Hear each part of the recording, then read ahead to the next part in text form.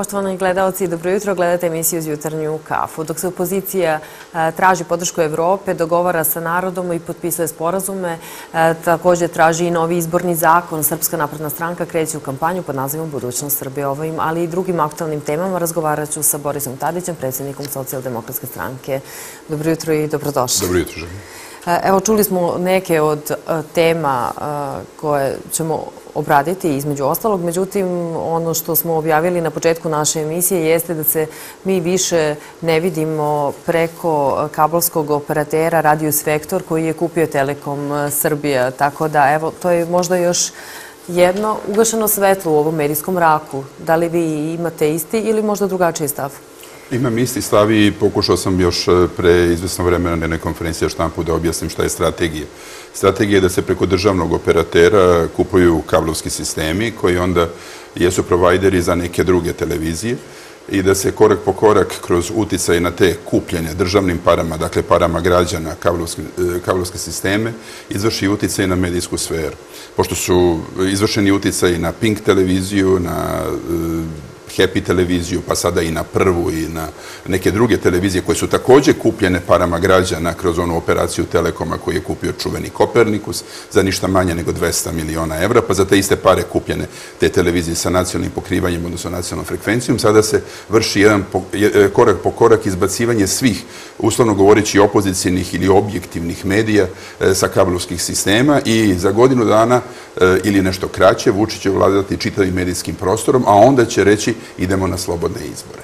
To je prava slika ove vlasti, to je licemerje ove vlasti i to je između ostalog razlog zašto smo mi postali neslobodna zemlja, odnosno više nismo slobodna zemlja nakon dugih godina, nakon 5. oktobra, što je bilo veliko dostignuće 5. oktobarske demokratije koju danas mnogi potpuno ne s pravom ili na jedan potpuno neodgovoran način kritikuju. Mi smo danas ponovo postali zemlja koja nije okarakterisana strane Freedom House-a kao slobodna zemlja. Evo, zbog ovoga se to dešava i zbog nekih drugih stvari e, koje manifestuje Vučićev sistem svakoga dana u našoj javnosti. A opet, s druge strane, premijerka Ana Brnabić je izjavila da je izveštaj nije objektivan. E, e, gospođa Brnabić će ući u istoriju, baš kao i Vučić, time da su upravljali zemljom u trenutku kada je Srbija prestala da bude karakterisano najrelevantnijih međunarodnih institucija kao slobodna zemlja. To će biti njihovo istorijsko nasledđe, a ne velika dostignuća kao što je to Vučić, a možda i Brnabićka želela.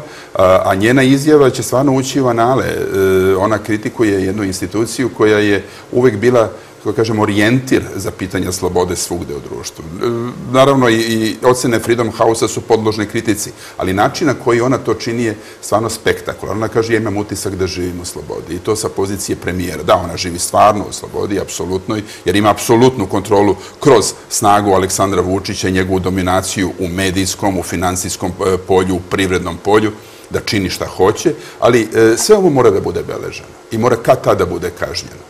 Ovo sve mora da bude beleženo. I afera sa Telekomom, transakcija od 200 miliona evra državnih para, da, državnog preduzeća, ali državnih para, to nisu pare menadžmenta koji upravlja kao privatnom svojinom, već građana Srbije i kupovina e, PKB-a za novac koji je neuporediv u odnosu na tržišnu vrednost običnog poljoprivrednog zemljišta, dva do tri puta manje novca je plaćeno i tako dalje. Ovaj sistem, ovaj režim, bukvalno u svakoj finansijskoj transakciji, odnosno prodaji državne imovine, otprilike inkasira oko 100 miliona evra, možda i nešto više u svoje stranačke ruke ili privatne ruke, pa naravno da se gospođa Brnavić, koja je postala premijer, odnosno pre toga ministar time što je dala alibi e, Vučićevom kumu za korupcionašku aferu, osjeća slobodnom, za razliku od Freedom House-a koji ima objektivna istraživanja i građana Srbije koji upravo zbog e, pitanja neslobode, osjećanja neslobode svaki dan, pa i vi e, koji učestvujete u medijima, protestuju na ulicima i tražeći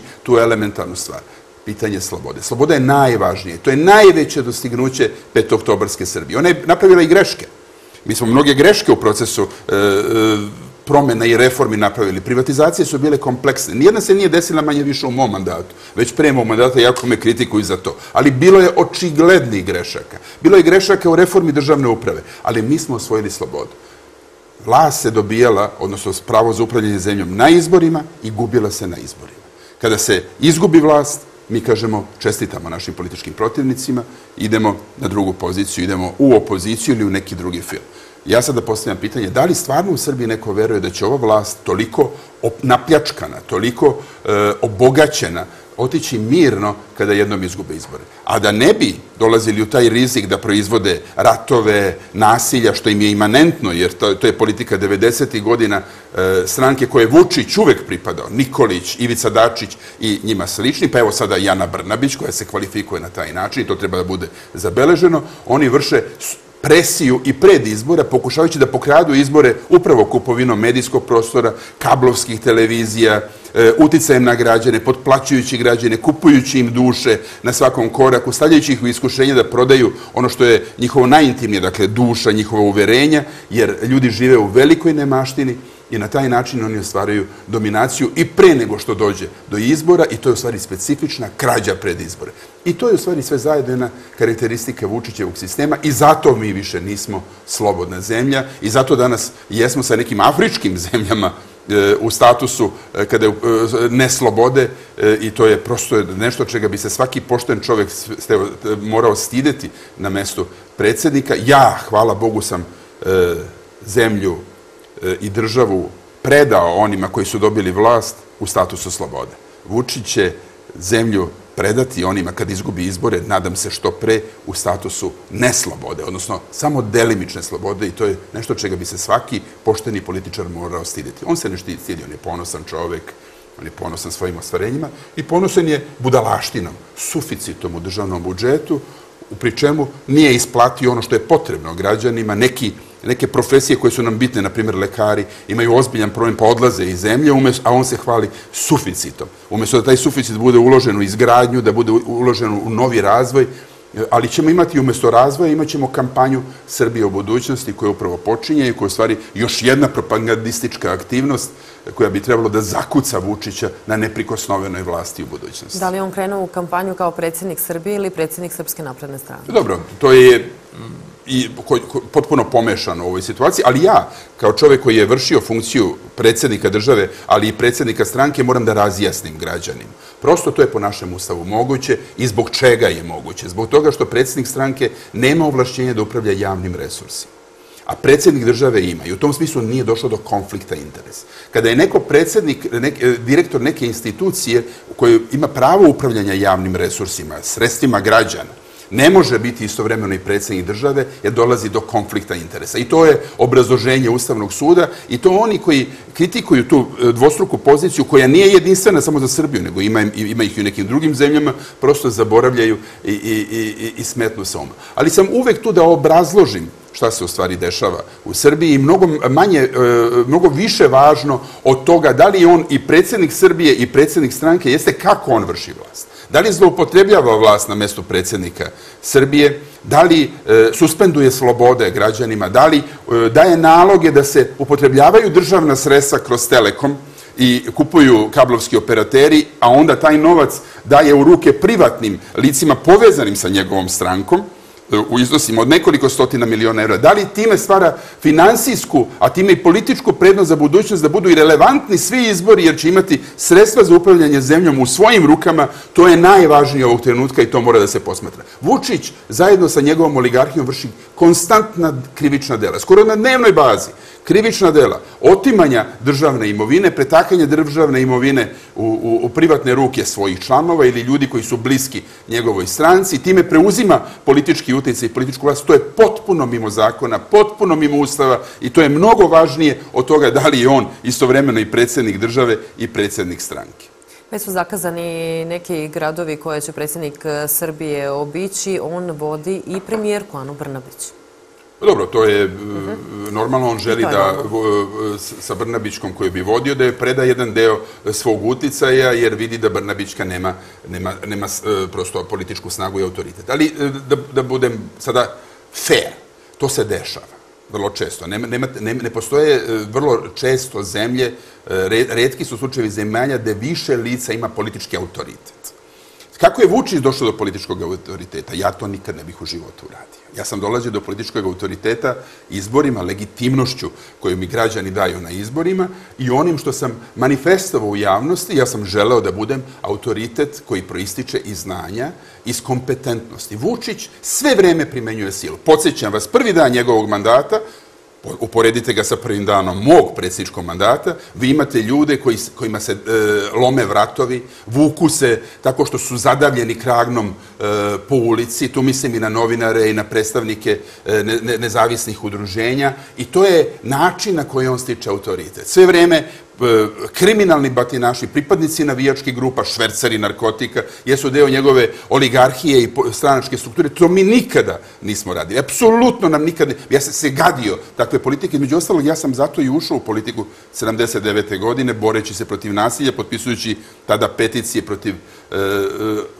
zakonskih akata koji su omogućavali vlasti nasilje. Dakle, evo sad sam proslidio 40 godina aktivnog bavljanja politikom i neću nikada odustati od politike u ovoj ili onoj formi, zato što je pitanje ljudske slobode, pitanje ljudskih prava. A Vučić je upravo nasilničkom politikom, kroz Srpsku radikalnu stranku, pa sada i Srpsku naprednu stranku, dolazio na vlast i te manifestacije nasilja su stvari svedočanstvo karaktera i prirode njegove vlasti. I sve vreme, kupovina medija, dominacija u, javnosti, e, pretnje batinašima pred izbore, kidnapovanje građana, e, udaranje štanglom u potiljak Borka Stefanovića, političkog protivnika, e, omalovažavanje političkih protivnika, vređanje političkih protivnika, vređanje zdravog razuma građana, unižavanje e, političke svesti građana bez koje takođe nema slobode, manipulacija svešću građana kroz medije, upotreba najodvratnijih e, propagandističkih psiholoških tehnika kao iz Gebelsovog vremena kojima građani prestaju da budu sposobni da sude o tome šta je njihov valjan, a šta nije valjan izbor.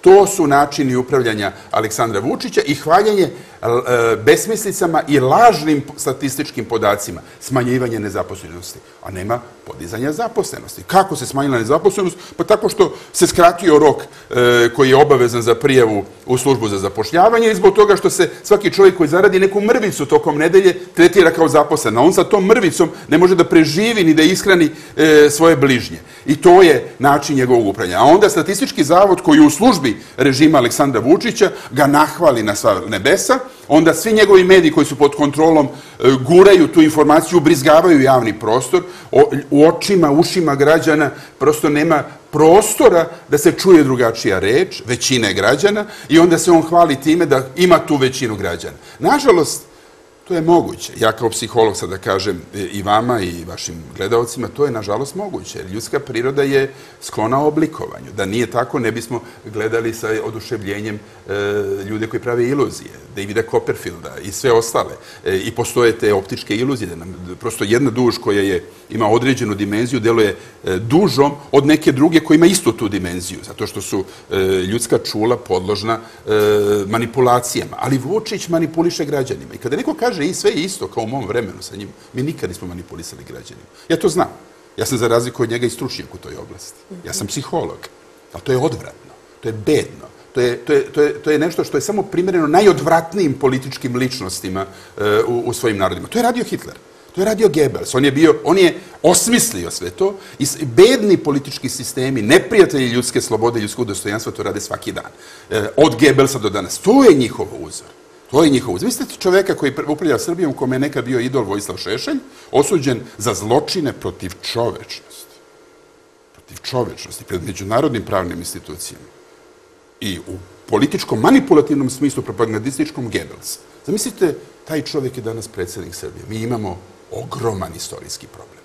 I zato mi moramo da promenimo ovu vlast, da bismo ponovo došli na pijedestal naroda koji poštuju ljudsku slobodu, jer samo tako možemo da se razvijemo na teritoriji kontinenta na kojem smo svi zajedno. To je Evropa. Pomenuli ste lažirane statističke podatke. Da li mislite i da su podaci iz e, agencije koje, istražuju podršku e, građana vladajućoj koaliciji takođe lažirane? U ovim okolnostima vi nemate uopšte mogućnost pre svega normalnog istraživanja javnog mnjenja. Evo to vam ja sad opet kažem kao psiholog i čovjek koji se nekad bavio istraživanjem javnog mnjenja u svojoj mladosti i znam šta to znači. Kada imate ovakvo stanje organizma, vi ne možete, e, socijalnog organizma, vi ne možete da istražite stvarno javno mnjenja. To je vanredna situacija. Kao kada u okolnostima e, potpune uplave, upale organizma e, ili strahovitog, e, invazivnog ili vanrednog stanja u kome se ljudski organizam nalazi, vi ne možete da istražite valjano šta sve ne valja u tom organizmu. Već morate da sačekate smanjenje upale. Mi to sada radimo. Kroz opoziciju, kroz udruženje, ugovor sa narodom, mi prosto želimo da dovedemo društvo u jedno stanje e, u, u kome možemo racionalnu diskusiju da uspostavimo. Ovde to nije moguće. Mi imamo prosto društvo koje je, kome je temperatura podignuta do nepodnošljivog, do preko 40 stepeni. I ljudi prosto u Srbiji više nisu u stanju da razaznaju šta je istina, šta je laž. Konstantnim e, implementiranjem laži, ubrizgavanjem laži javni prostor kroz Happy televiziju, kroz Pink televiziju, sada kroz prvu, e, nekadašnji B92 i, i, i kroz slične medijsko-tehnološke i kablovske sisteme. E, rekao sam koje se tehnike primenjuju. Ali mi moramo protestima da dovedemo u pitanje tu stvar. I zato je protest kroz čitavu Srbiju od ogromne važnosti. Tek onda, kada jedno vreme e, dovedemo u pitanje ovaj lažni e, sistem Aleksandra Vučića kroz proteste i kada građani koji su mu i verovali u, gradovima Srbije to vide, tada će biti moguće da se stvarno ispita javno mnjenje. Istraživači javno mnjenja ne kažu to elementarno istinu. Oni ne kažu da ispituju javno mnjenje u vanrednim socijalnim, političkim i psihološkim, socijalno-psihološkim okolnostima. Ta, tada se ne može saznati stvarno stanje nacije, odnosno mnjenje građanja. Još jedno, mnjenje nije mišljenje uvijek, mnjenje je puno emocija. E, mi smo zaboravili e, tu, tu imenicu, nekako je nestala iz našeg života i zadržala se samo u marketičkim agencijama, istraživačkim agencijama. Ali e, mišljenje je kudi kamo racionalnije. I sada zašto to hoću da kažem? Zašto je to e, posebno važno? To je posebno važno zbog toga što u, u, u, novim okolnostima mi možemo da e, prosto racionalizujemo situaciju i da priđemo građanima i zato je potrebno određeno vreme da se pripremimo za slobodne i za fair izbore. Vučić bi naravno hteo izbore što pre. Nema izbora što pre. Nema izbora u okolnostima u kojima je on dezavuisao i istinu, u kojima je on obmanuo građane, slagao ih, u kojima neki građani još veruju njegove neistine zbog toga što su pod pritiskom medija. Za izbore, fair izbore, potrebno je da prođe neko vreme kada građani imaju pristup realnim informacijama i da imamo debatu koja je negde nestala umeđu vremenu. A Vučić je u stvari čovek koji svakoga dana pokazuje da je notorna kukavica. On ne dozvoljava debatu, a upravo zbog toga što ne dozvoljava da se stvarno vrednuje ono što je on učinio. On napada svoje političke protivnike za ono što on hoće da uradi. Uvek to uradi. Kada hoće da se dogovori oko Kosova, oko nečega što je neustavno i što je protivno e, interesima, vitalnim interesima srpske nacije, on onda napadne mene da sam ja u stvari pripremio taj teren e, e, procesom pred Međunarodnim sudom pravde i mišljenje Međunarodnog suda pravde, za, koje je samo savjetodavno što i kaže e, sam naslov tog mišljenja i naravno on laže građane da je to obavezujuće i sad nije imao kud nego je morao da preda vitalne nacionalne interese na Kosovu. A kada je to u pitanju, Hašim Tači ga otkriva svakim danom, pa boga mi i kabine Donalda Trumpa, jer govori da je istorijski sporazum tu blizu. Ali samo građani Srbije ne znaju kakav je to sporazum već praktično iskristalisan. A Tači govori da moguće je manja korekcija granice. Ja imam informacije, hvala Bogu, kao bivši predsjednik Srbije iz međunarodnih krugova, jer su ti ljudi i dalje moji prijatelji, pa saznajem šta je u stvari predmet diskusije. Tači, a to je u stvari do sada negde uslovno govoreći dogovoreno, hoće da e, neke, jednu i po opštinu na jugu Srbije, E, uzme u, u, u sastav Dobro. Kosova, to je Bujanovac i Preševo, deo Bujanovca i Preševo, a spreman je da e, za, za uzvrat napravi tu malu korekciju granica kada su u pitanju e, Zvečan, Lešak i Zubin potok. Nema govora o, Južno, Severnoj Mitrovici, nema govora o gazivodama, nema govora o Trepči, o vitalnim resursima i, pitanjima opstanka srpskog naroda. I nečemu Nema govora o nečemu čemu sam ja poklonio najveće, e, najveću pažnju, to je pitanje identiteta i očuvanja kulturne baštine. Džaba nam livade na Kosovo ako ne sačivamo kulturnu baštinu. Pitanje identiteta je pitanje ljudskih sloboda, pitanje ljudskih prava, međunarodne konvencije o ljudskim pravima u jedinjim nacijama. Pitanje identiteta je pitanje iznad mnogih pitanja. I svi oni koji se, se olako odricali Kosova zaboravljaju to ogromno, veliko, E, pitanje koje transcendira istoriju, ide prema budućnosti, to je pitanje identiteta. Vi ne možete postojite bez identiteta. E, svog nacionalno-kulturološkog identiteta. Zato su naši manastiri od ogromne važnosti. Vučić u pregovorima prosto ignoriše to pitanje. I dolazimo u situaciju da ćemo na kraju da se nađemo u nebranom grožđu i da će UNESCO kosovsko nezavisna albanska strana korak po korak preuzimati i nadležnost na manastirima proglašavajući ih ne srpskim nacionalnim dobrom, e, već kosovskim nacionalnim dobrom, nekom identiteta koji nikada u istoriji nije postojao e, do u glavama nekih političara e, nakon 99. godine i nakon intervencije međunarodnih snaga, odnosno NATO snaga na Kosovu. Ja prosto hoću da kažem koliko je monstruozan ovaj sistem. On je, to, je, to je sistem konstantnih sistematskih laži i obmanjivanja građana, koji građane korak po korak kroz hladnu vodu polako prevodi onu novu realnost, a ta nova realnost može da bude na kraju gde smo mi izgubili uporišne tačke našeg identiteta. Da smo izgubili nacionalne resurse za postojanje pod određenim institucijama na Kosovu i Metohiji. Da smo izgubili mogućnost razvoja zemlje, zbog toga što mi nemamo investicije u razvoju u Srbiji. Mi imamo e, veliki broj e, investicija koje prosto ne obezbeđuju da mi napravimo ekonomski skok iz jedne e, nedovoljno razvijene ili zemlje ili zemlje koja zaostaje čak i u regionu u zemlju e, koja ide, hvata e, visoke standarde Evropske unije. Vučićev sistem u stvari je vrlo vešt u obmanjivanju građana na taj način što stvara utiske da se zemlja razvija, a zemlja se ne razvija. Stvara utiske da zemlja ide prema Evropskoj uniji, a mi smo se kao ona asimptota stalno približavamo Europskoj uniji, a da nikada ne možemo da je dostignemo. Ne znam da se sećate tog matematičkog modela, negde sam u međunarodnoj javnosti otvorio kakva je u stvari strategija. Nažalost, to odgovara i nekim evropskim političarima koji ne žele proširenje Evropske unije, neki, neki žele. I zato mi moramo u realnim okolnostima se borimo i za članstvo u Evropskoj uniji, i za zaštitu našeg identiteta na Kosovu, i za investicije u razvoj i promenu ekonomskog e, standarda, ekonomskog statusa e, našeg nacije, naših građana i da otvorimo pitanje budućnosti. Što nije doveo ni jednu fabriku automobila u Srbiji? Što dovodi samo fabrike kablova u Srbiji? Pa mi smo otvarali fabrike kablova da bismo stvorili e, pretpostavku da dovodimo fabrike automobila a on otvara fabrike kablova i čarapa. Visokotehnološke kompanije, on se hvali svim kompanijama koje smo mi doveli. Laže građani. Pre izvesno vremena je rekao da je on doveo NCR kompaniju koja evo sada otvara nova radna mesta, mi doveli 2011. godine kad je on bio u dubokoj opoziciji. Laže otvoreno na svakom koraku. Laže da je doveo Boš. Mi smo ga doveli.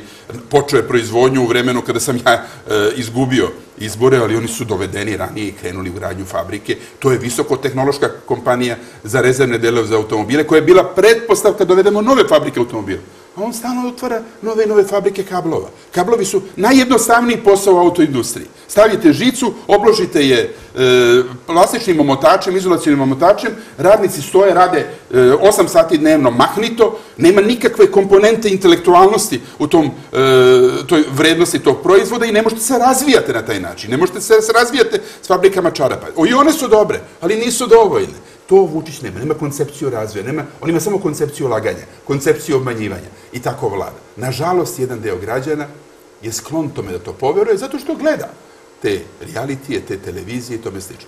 Red realitija, red Vučića. Red realitija, red Vučića. Red prostitutki u realitijima, e, najbanalnijeg ponašanja e, na e, televizijama sa nacionalnom frekvencijom, pa onda red laganja Aleksandra Vučića. Pa onda opet reality, i, i, i čuveni novinar, onaj Marić e, sa Happy televizije, svemu tome daje poseban akcenat i mi živimo, većina građana, nažalost, živi u toj realnosti. Ne čita podatke koji dovode u pitanje laži režima, slepo počinje da veruje i građani nisu krivi.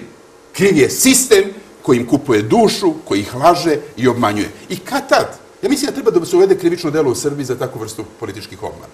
Ako postoji krivično delo za širenje lažnih vesti, sad se svet suočava sa tim problemom, mora da postoji krivično delo u politici za takvu vrstu lažnih obmana i evo, to bi možda trebalo da, da predloži e, naš političkih obmana, naš novi politički blok koji je potpisao sporazum e, sa narodom, pa i narod bi, predlažem narodu da traži od nas da uvedemo jedno tako krivično delo. Pa eto, bit će proširenje, je li tako? Da. da. dakle, već se najavljujete. Želim samo još jednom da se vratimo na kampanju. E, da li će, kao što smo rekli, već su zakazani neki gradove koje će predsjednik Srbije obići. E, međutim, opozicija smatra da su to kontramitinzi protestima. Naravno da jesu. On, kao što je sve što on radi nalik Milošević. I to je model koji on primenjuje. A sećate se pred 5. oktobar, kada je Mira Marković stalno ugrožava, govori o tome kako je ugroženja njena porodica. Niko nije ugrožavao njenu porodicu. Sad Vučić to govori. Pa onda Vučić koji nama spremate odmazu i tome. Vučić govori o vešalima. Samo je zaboravio da kaže da je on sedeo u prvom redu kada je Nikolić 2008. godine u domu sindikata na predizovnom skupu tada Srpske radikalne stranke, kada smo mi potpisivali sporazum o stabilizaciji i pridruživanju, koji nam je onako doneo oko 300 miliona evra e, bespovratnih sestava od Evropske unije, ništa e, značajno, samo 300 miliončića evra svake godine bespovratnih sestava, a onda je Nikolić rekao, obesit ćemo Tadića ovde na terazijama ukoliko potpiše taj sporazum. Ja sam bio u Briselu i sa Đelićem smo potpisivali taj sporazum. A Vučić je aplaudirao to. To je njegov način ponašanja. Znači, onda je bilo moguće pretiti vešanjem, a sada je to ugrožavanje sistema. Ne, on ima selektivno e, odnošenje prema pretnjama vešanjem. Kada se E, kada, kada neki nenaročito inteligentni ljudi donesu neke plastične cevi e, koje simbolizuju vešanje, što je stvarno mimo svakog stila i svake vrednosti, što mora da se osudi, na skup opozicije bez znanja lidera opozicije ili onih koji su organizovali skup, tako, dole su ljudi svašta, svakakve parole tamo, to je sada teško, teško kontrolisati, onda Vučić kaže, to je pretnja meni. A on je aplaudirao kad je Nikolić to govorio meni kao predsednik, kao nosilac liste te stranke u trenutku kada smo mi činili dobro za Srbiju donoseći 300 miliona evra. Nije mu palo na pamet da se odrekne tih 300 miliončića evra koji dolaze svaki, svake godine u budžet Srbije, a sad se hvali suficitom koji je manji od tog iznosa na godišnjem nivou. Odatle dolazi taj suficit, zbog dela koje smo mi ostvari. Dolazi zbog toga što smo mi doveli e, investitore u visokotehnološke, koji su i danas skoro jedi, najveći izvoznici u Srbiji, od, od deset, najvećih sedam, čini mi se, vremena koje smo mi doveli. Jedini visokotehnološki proizvođači danas u Srbiji sa visokom komponentom znanja u finalnom proizvodu su oni koje smo mi doveli. Nažalost, i u najstrašnijim ekonomskim okolnostima mi smo uspeli sa tim da se izborimo. Šta bismo radili da smo imali ove idealne koje ima Vučić, tada je postojala globalna kriza, nikad viđena u istoriji sveta. On ima idealne okolnosti. Još se hvali neviđenim dostignućima. E, tako se e, i on e, u javnosti odnosi prema odvratnim e, slikama sa omčama, ali tretira ih kao da su namenjene njemu. Pa, jako je zanimljivo, sad mi pade na pamet. E, Vojislav Šešelj je u parlamentu pred Majom Gojković i na prednjačkom većinom javno pretio pre nekoliko meseci da će me zaklati. I to je na televiziji snimljeno. Niko u parlamentu nije rekao. Vučić reč nije rekao njegovom bivšem idolu, po znacima navode. Zato što je to njegov sadašnji idol. Zato što on selektivno upotrebljava pretnje. Vešanjem, klanjem i tome slično. Pretnja klanjem je još gore od pretnje vešanjem. Ali osao im je sil iz 90. godina. Kada su pretali, pretali drugim nacijama, klanjem, odmazdama i tome slično, zbog čega je njegov idol, predsednik više decenijski njegove stranke, osuđen na, e, za zločin protiv čovečnosti. I nikada taj čovek, Aleksandar Vučić, nije postavio pitanje svoje odgovornosti da je bio pripadnik stranke u kojoj je lider osuđen za zločine protiv čovečnosti. Lider moje stranke je ubijen zbog svojih uverenja. To je Zoran Đinđić. Ja sam pripadao toj stranci.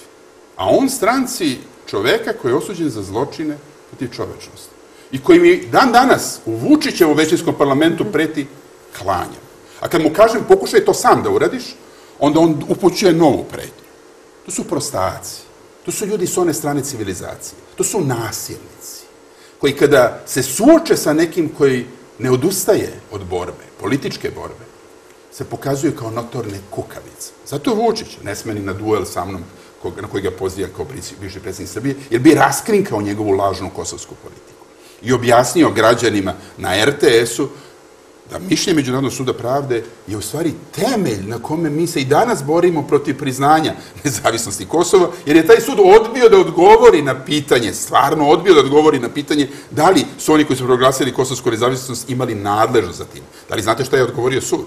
Da oni nisu imali nadležnost, pa u tom smislu, pošto nisu imali nadležnost, nisu ni, ni e, dezavuisali, odnosno povredili međunarodno pravo. Da su imali nadležnost, sud bi morao da odgovori da su povredili međunarodno pravo. To je neverovatna odluka suda. Ali upravo zbog toga neke zemlje su nastavile da ne priznaju kosovsku nezavisnost, polazeći od toga da je i sud rekao da oni koji su proglasili tu nezavisnost nisu imali pravo to da urade, pa nisu e, imali e, e, ni mogućnost da povrede međunarodno pravo. Ne, Vučić kaže da je to u stvari nas uvelo u neophodnost priznanja nekog nezavisnog Kosova. Pri čemu? Za razliku od nekih drugih političara, ja naravno znam da je odbrana Kosova ogroman i tegoban i težak posao. Ja neću da kažem, kao što bi on danas na mom mestu rekao, ti si kriv za sve. To je problem koji dolazi iz istorije, to je problem koji je teško rešiv. To je problem u kome Srbija mora da nađe neko kompromisno rešenje. Ali neću da dozvolim jednom lažovu predsedniku Srbije da u trenutku kada mora da podnese odgovornost za ono što je hteo da radi, jer je se kandidovao za mesto predsednika Srbije, laže da su neki drugi E, kao što sam ja ili neki drugi pre mene, njega doveli u nemoguću situaciju. Ne, on je nas doveo u, u, moguću situaciju. Ratovima, posticanjem ratova i tome sve. Pa Srpska radikalna stranka u kojoj je on bio ministar u vladi Miloševića nije htela ni mirovni sporazum u Kubanovu, nego su ga kao kukavice na kraju prihvatili pa ostali u, u, u vladi. A prvo su rekli, mi to nećemo, kao mi smo veliki heroji. Gde god jer se neko iskazuje kao patriota i veliki junak, znajte da je kukavica, a u stvari je lopovčina. To se dešavalo i u ratovima u bivšoj Jugoslaviji, to se dešava i sada. Kada govore o velikom patriotizmu, kradu. Svaki dan kradu. I kad tad bit će suđeni za to? Um, prosto ne znam ne da... dođete do reči. Ne mogu da dođe do reče. A, ovaj... a inspiriše me ova vlast. Inspiriše me svakim danom. Pa, ja, pa ja, ja, ja to govorim kao socijalni psiholog, znate. Oni su Oni su klinička slika ludila. Svakoga dana. Imate ludilo koje se manifestuje svakoga dana. Pa Ana Brnabić kaže, moram da sprečim sebe da kažem ono što bih inače rekla. Pa ako bi nešto inače rekla, znači da nisi rekla. Pa ne moraš sebe da sprečavaš. To je dakle glupost koja je nesaglediva. Dok su polusmeni ljudi na vlasti. Pa ste ovoga Babića, ovoga nesesno ovo koji govori o sebi, ne brinite ništa, gnjaviću vas još, žena poginula. Jeste, i kako, i kako komentarišete da se njegov vozač brani sa slobode, a da... Neverovatno, ovi, ovi klinci koji su ko blesave, e, neodgovorne socijalne spodobe nosili neka improvizovana vešela na skupu koji govori o miru, toleranciji, uspostavljanju istine, e, oni su u pritvoru a vozač za smrt žene se brani za slobode. Pa to je taj pravni poredak. Onoliko kritikovano pravosuđe iz mog vremena, to pravosuđe koje zaslužuje kritiku, zbog toga što ljudi nisu imali pravo, e, koji su sklonjeni sa mesta sudija da se žale, morali su da imaju pravo da se žale, ali u tom vremenu mi smo imali osuđujuće kazne, na višedecenijske kazne zatvora za šefove organizovanog ganga koji su i danas u zatvoru. A vi danas imate ovo pravosuđe koje, kome se kao Vučić hvali, a između ostalo zbog kvaliteta to pravosuđa smo i prestali da budemo slobodna zemlja, vi imate to pravosuđe koje tretira građane na potpuno diametralno suprotan način sa stanovišta pravde i istine. Imate Babića koji, koji čovjek, ja, ja mislim da bi on bio na jednom ozbiljnom testiranju da bi bio oglašen poslovno nesposobnim. Jer ne možete vi, nakon jedne takve nesreće u kojoj žena izgubi život, da kažete ne prijete, još ću vas gnjaviti i maše iz bolničke sobe. To je, to je strašno. Jer imate seriju, pazite ti vul, vi, te Vulinove izjave, e, pa Gorana Vesića izjave, pa gradonačelnika ovog Radoj, e, e, zaboravio sam i kako se zove. E, Radojičić. Radojičić, ima onaj Milan Radojičić koji je optužen, osumnjičen za ubistvo, pardon, Olivera, izvinjam se, osumnjičen za ubistvo Olivera Ivanovića u jedinom istražnom postupku koji je Vučić posljedno se desi u Prištini. Imate sad ovog gradonačelnika koji se odriče svojih nadležnosti i govori gradonačelnik Vesić. A Vesić kao iznogu se smeška pote i nadajući se da će preuzeti taj posao, kao što je uvijek bio iznogu, uvijek se nadao da će nešto da bude. Pa sam ga ja sklonio u demokratskoj stranci u vreme mog upravljanja tom strankom, kao što je na kraju i Zoran Đinjić pred kraj svog života to uradio sa sličnim ljudima, shvatajući da je i on pravio kadrovske greške, do duše pravio sam ih i ja, a ko ih nije pravio u životu. Ali morate imate priliku i da promenite ljude koji prosto ne odgovaraju svojim nadležnostima. Ali sada, Pa sve najgore iz demokratske stranke uzeo Aleksandar Vučić. Sve najgore iz svih ostalih stranaka uzeo Aleksandar Vučić. Uzeo je sve najgore iz svoje bivše stranke. Čoveka koji ga je napadao za izdaju ovog Martinovića, onda je rekao da je u stvari bio magarac što ga je napadao za izdaju, pa je sada postao šef poslaničkog kluba ili šta li je u srpskom parlamentu. Pa takva vrsta čoveka koji za sebe kaže da je magarac, sada vodi najveći poslanički klub i zato mi danas nemamo ni parlamentarizam, nego njegovi sledbenici u poslaničkom klubu e, uzurpiraju svo pravo za diskusiju, pa onda Freedom House kaže pa vi više niste zemlja slobode. Pa naravno da je zakonomeno da ne budemo više zemlja slobode kad imamo takve ljude na vlasti. Ali opet s druge strane, Dragoljub Simonović jeste u pritvoru zbog e, paljenja kuće novinara Milana Jovanovića. Možda misle, možda premijerka misli, eto, nije, nije baš da nema slobode. Ne, ne, ne, ne, vidjet ćete. Svako malo ćete vi imati po nekog malo uhapšenog. Dobro. I po nekog malo smenjenog. Da će i to biti deo kampanje. A to je deo kampanje. Sjećate se Gašića, koji je vređao novinarku yes. na najodvratniji način. Velika muškarčina. Velika muškarčina. Baš divno što tako lako novinarke klekom. Pa taj, taj kulturološki obrazac, koji uopšte nije shvatio šta je rekao. Uopšte nije shvatio da je to neki problem, civilizacijski, vrednostni odnos prema građanima određenog pola, građankama. E, on je bio smejen. A šta je sada? Pa sad je mnogo više nego što je bio sa stanovišta moći i vlasti. On je čovek koji upravlja obaveštajnim sistemom, koji je u službi Vučićeve vlasti. Koji je službi Vučićeve. I, I kad neko kaže sve je isto, pa ti koji kažu sve isto su u stvari najveći zagovornici Aleksandra Vučića. Pa naravno da nije isto. Mi smo imali profesionalno upravljanje službom bezbednosti koja je obavljala svoje međunarodne obaveze jer, i, i, i bavila se e, izvozom bezbednosti u sve. Pa mi smo imali zapenu pet tona kokaina u dve akcije sa međunarodnim bezbednostnim službama, što je svetski rekord, mislim, do današnjeg dana. Za, u, za, e, mi smo konfiskovali pola milijarde evra šefova organizovanog ganga na teritoriji Srbije. Zamislite koliko su novca još imali kojima bi upravljali E, političkim sistemima koji im ne odgovaraju, pokušavali da ih smene, da vrše atentate i ubistva. Vi, vi danas imate situaciju u kojoj se ljudi koji su deo tog švercerskog lanca oslobađaju zastarevanjem procesa u ovom takozvanom dobrom sudskom sistemu Aleksandra Vučića. A mi smo te ljude stavljali u zatvor, pokretali istrage protiv njih i bili bi u zatvoru i osuđeni, siguran sam u jednom sudskom sistemu koji veruje u slobodu i, i, i veruje u dostojanstvo sudske profesije danas. Mi to, mi to više to, to nemate. Imate ubice, e, š, pripadnike navijačkih grupa koji su deo tih batinaških struktura Srpske napredne stranke, nekada Srpske radikalne stranke, jer kao jesa odredi nisu mogli bez batinaša.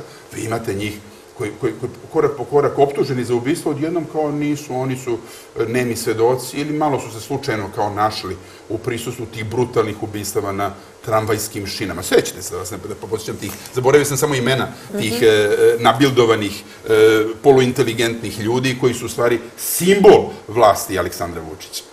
Pomenuli ste malo pre neke ministre, međutim želim da mi e, iznesete stav o izjavi ministra Šarčevića povodom e, e, profesora sa fakulteta koji su podržali protest. Pa kako da iznesem stav? To je, to je, to je, to je, mislim da taj čovjek bio direktor gimnazije neki. Ja sam bio prosvetni radnik deset godina. Mislite vi da, da date izjavu da tu nema ni jednog velikog imena? Nema imen, pri čemu su tu dekani, bivši rektori, naučnici, Sad, on, kao direktor gimnazije, daje svoju ocenu o veličini dela univerzitetskih profesora i naučnika. Tu imate već jednu pretencioznost koja je neverovatna. Pričemu taj gospodin Šarčević nema ni jedno naučno delo. A on govori o tome kakvi su to naučnici. I on ih prepoznaje. S druge strane, on dezavuiše čitavu naučnu zajednicu na taj način. E, ja ne znam da li on nikada učestvuje u nekom naučnom projektu. On, da li on zna koliko je kompleksno baviti se naukom i koliko to je jedan delikatan i za društvo važan e, deo društva. Nema razvoja bez nauke, pogotovo implementacije nauke u privredu. Sad vi imate tako, tako jedno tumačenje ministra prosvete. I, I to je u stvari svedočanstvo političke civilizacije koju gradi Aleksandar Vučić, koji želi da bude istorijska ličnost, a na svakom koraku ima dezavuisanje osnovnih elemenata civilizacije, to jest istorije. Znači, čovjek hoće da bude istorijska ličnost koji poriče ono što je suština istorije, to je civilizacija na svakom koraku. I to je strašno. E sada, tome, tome daju podršku neki ljudi koji su se nadali da će dobiti neke sinekure i neke, ne, neki novac. Neki od njih su analitičari, neki od njih su i neki glumci, neki od njih su i ljudi od kulture, ali pogledajte se da odnos. Ogromna većina je sada na strani oni koji rade, su u protestima i žele da do, uspostave ponovo slobodu u Srbiji. Slobodu, to je najvažniji zadatak u Srbiji. Opet. Opet se borimo za slobodu. Da mislite tu strašnu stvar. A imate jedan broj njih koji će se potpuno drugačije ponašati od Šarčevića i Vučića. Ja njihovo delo cenim. Njihov glumački doprinos, ja ga cenim. Ali imam pravo da kažem da imaju političke procene koje su potpuno infantilne. Kao što sam uvek govorio da neki ljudi koji su pripadali belim listićima, čije možda delo cenim, politički bili potpuno analfabeti, koji ništa nisu razumeli. Misleći, promenit će mene, pa će onda lako Nikolića i Vučića meniti, razumejući da mi više nećemo imati demokratiju. Da će, nećemo imati koga ko će da kaže, vidimo se u sledećem filmu, čestitam na rezultatima izbora. A mi smo izgubili za dlaku. Za manje od 2%. Podsećam vas, vlada koju smo imali koaliciju imala više glasova nego na izborima 2008. godine. Jedinstven slučaj nakon ekonomske krize u Evropi. I to smo rekli. A vi sada imate jednu potpuno novu političku situaciju. I zato moj apel ljudima iz kulture, kada stuže, sude o politici, da malo budu uzdržani, takođe. I da pitaju, i da pročitaju, i da se savetuju o tome koji su parametri politike, jer mi moramo svi zajedno, ljudi iz kulture, ljudi iz medija, ljudi iz političkih stranaka i analitičari, da obrazujemo narod kada je u pitanju politika da ne dođemo i u budućnosti situaciju da neki autokrata, diktator, uzurpator vlasti lako obmane građane, nego građani moraju takođe da znaju to je parametar politike, to je parametar politike. Neću da ti dozvolim da me manipulišeš. Pogledajte, ima i većih e, demokratija koje su tome sklone, da ne govorimo o Nemačkoj e, naciji, jednoj od najvećih u istoriji zapadne civilizacije, čijoj filozofiji poti, počiva naša e, judeo-hrišćanska civilizacija. I oni su u jednom trenutku poklikli i glasali za Adolfa Hitlera. Ali se sve stvari izmenile i naučili su se istorijski šta ne treba činiti. Mi moramo ta strašna iskustva da ugradimo u neku budućnost.